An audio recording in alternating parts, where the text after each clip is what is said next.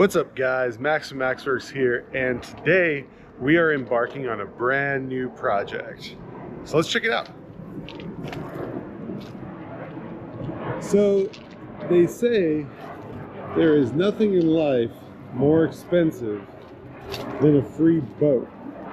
And I can tell you from personal experience, that's absolutely true. So I did get this boat for free, but uh, the goal is to see if we can restore this boat, maybe not to perfection, but at least get it back on the water. So before we get started in on what's going on with this, let's talk a little bit about what this thing is.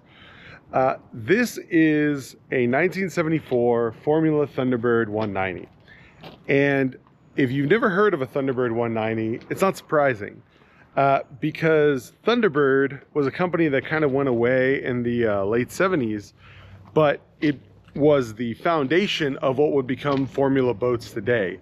And if you guys know anything about boats, you know that Formula boats make some of the most badass uh, power cruisers on the market.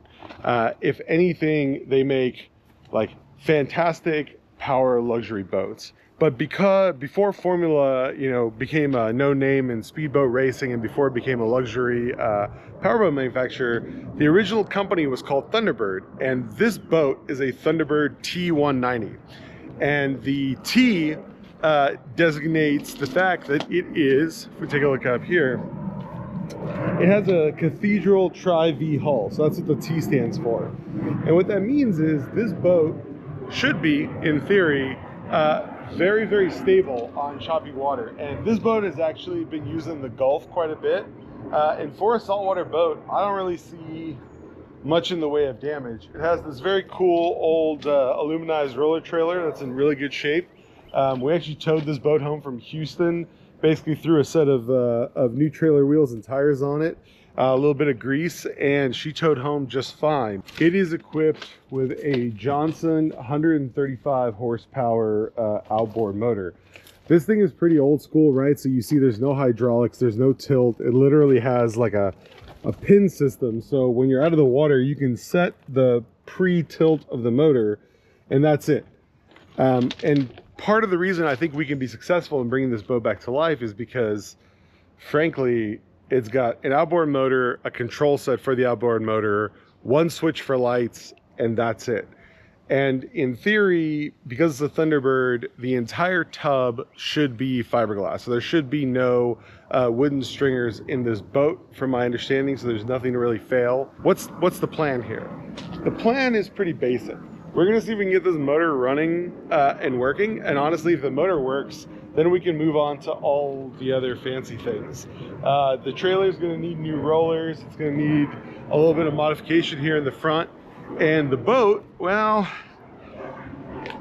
the boat's going to need a lot of help. It's been sitting outside for about 20 years. And so if we hop up in here real quick, I'll take you guys on a little tour. Uh, so this is the front of the boat. It's got seating area. All the cushions have gone, but uh, hopefully we can make some new ones, right? It's not, not too hard to make cushions. And all the seats are gone except for that one, which probably was the captain's seat. Yeah, there you go. You can see the stain from, from where it is.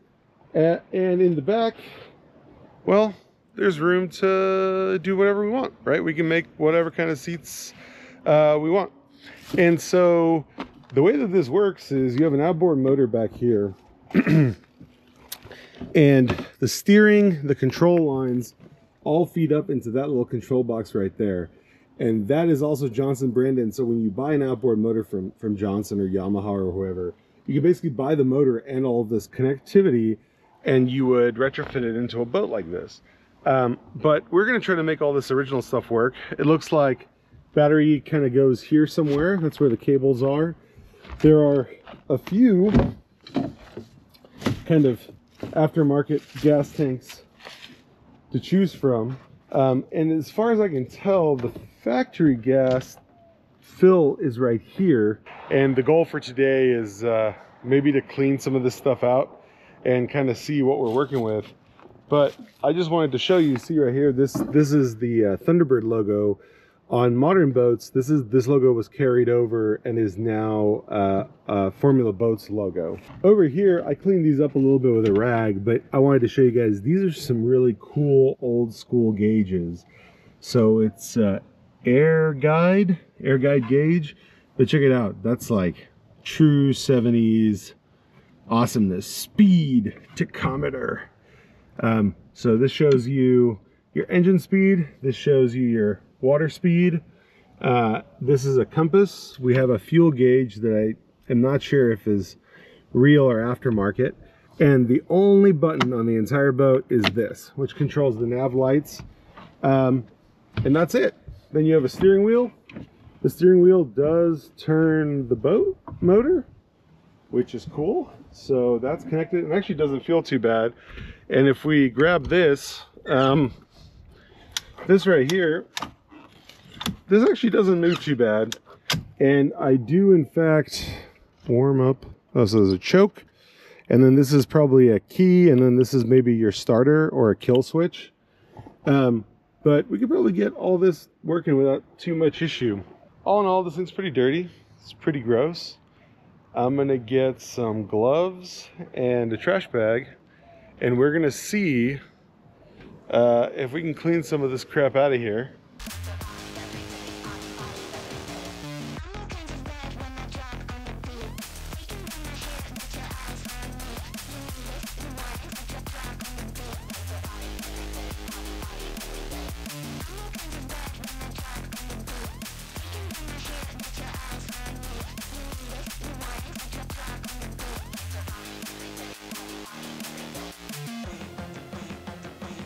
Want to give you guys a little progress update here.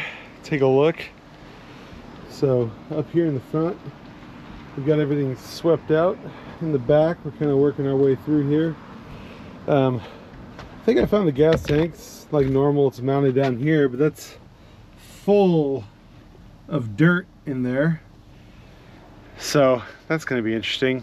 I am not sure I've ever cleaned out an entire trash bag worth of topsoil out of a vehicle before and I'm not done. There's still quite a bit of vegetated matter and dirt in here. So just finished vacuuming the old girl out. This is as clean as I can make it. Um, so all we really did was we just vacuumed it out. I tried to get all the loose dirt and stuff out. And as you can see, you can actually see the carpet all the way back.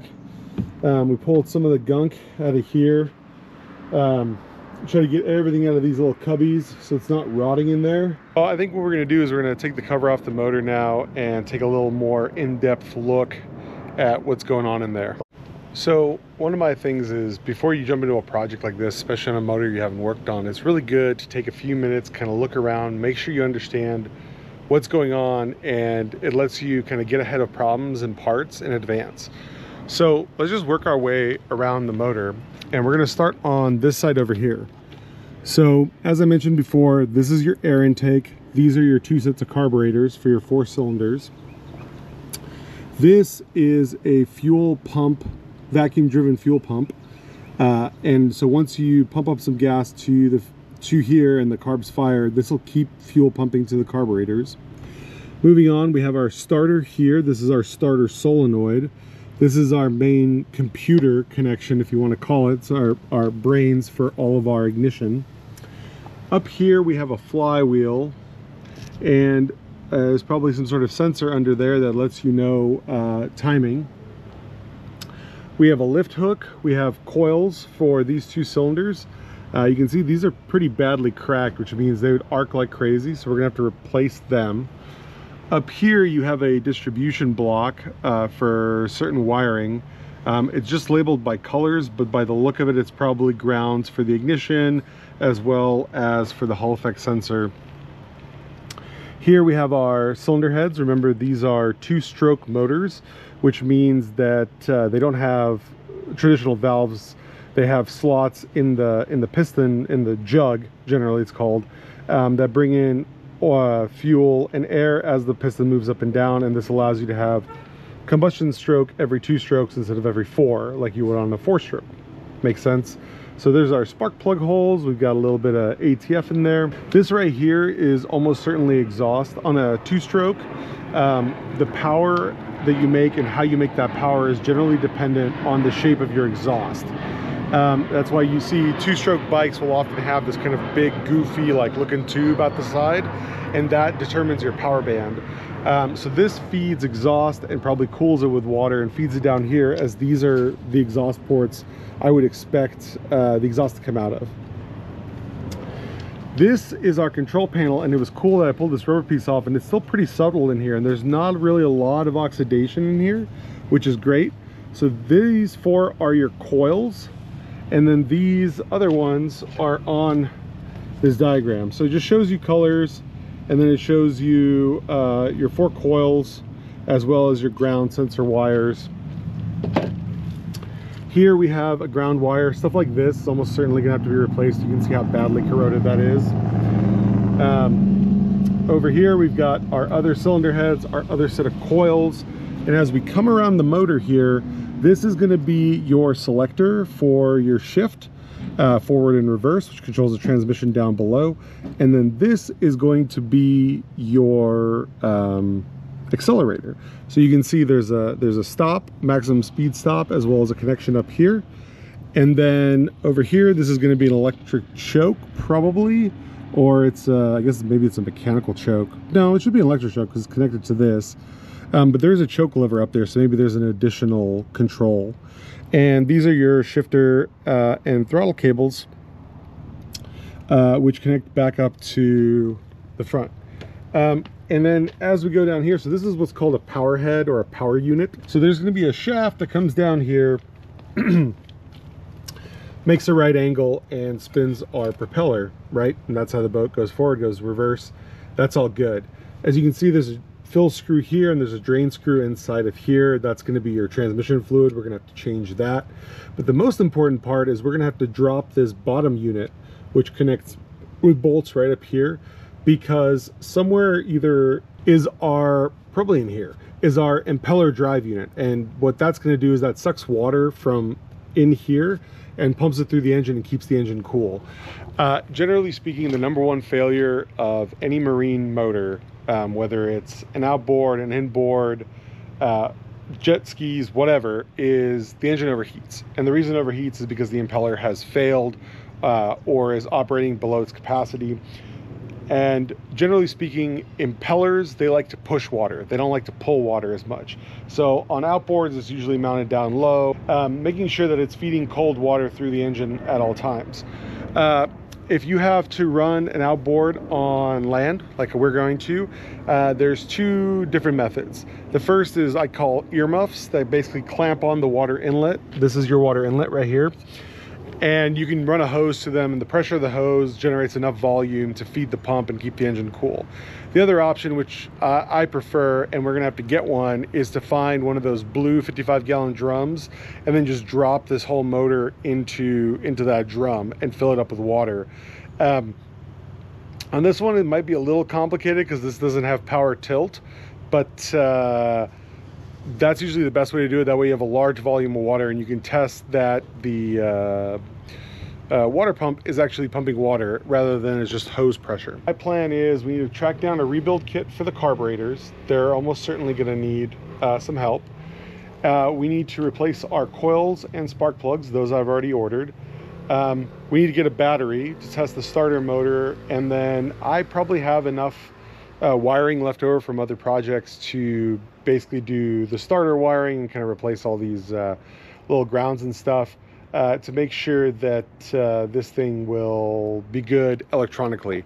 And one of the things I always like to do is I like to put a little bit of, this is just regular old-fashioned ATF. I'll put a little ATF in all the cylinders and what this will do is it'll both clean and lubricate um, as we spin the motor around. And so I got a 36 millimeter socket on top here. And so we're gonna just rotate this guy around. And she spins over really smoothly. That spun over really well. So that lets me know that this motor is probably in pretty good shape. Um, but we'll see how much I can get out of there and I'll, I'll update you guys once I'm done.